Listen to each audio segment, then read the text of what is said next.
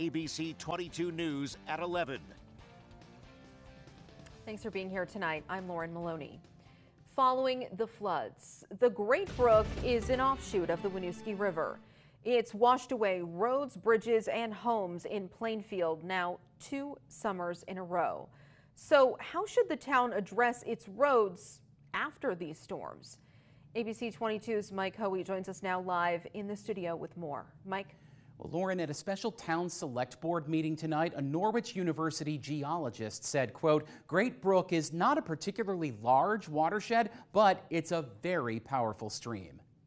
It was one of the most striking scenes anywhere in Vermont from this year's July 11th flooding. The Great Brook carved open a Plainfield apartment building known locally as the Heartbreak Hotel. Right next to it, the Mill Street Bridge washed away. I'm sure that shocked a lot of us. That the bridge that had been there stood since about 1929.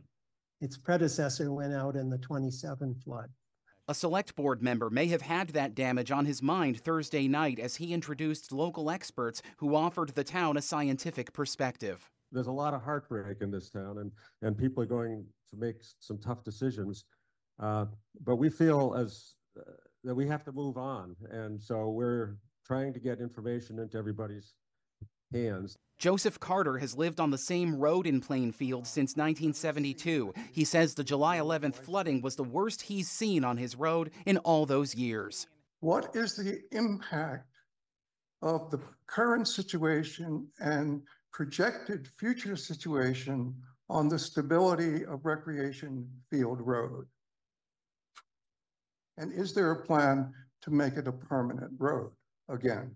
In order for us to uh, make a plan and uh, make decisions regarding what gets opened and what gets fixed permanently, we have to know roughly how much money is coming in. Uh, FEMA has not made a declaration yet.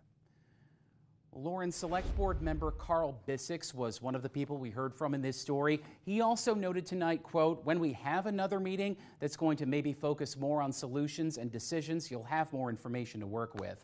Live in the studio, Mike Hoey, ABC 22 News. And Mike, the Vermont Community Foundation says it's given out half a million dollars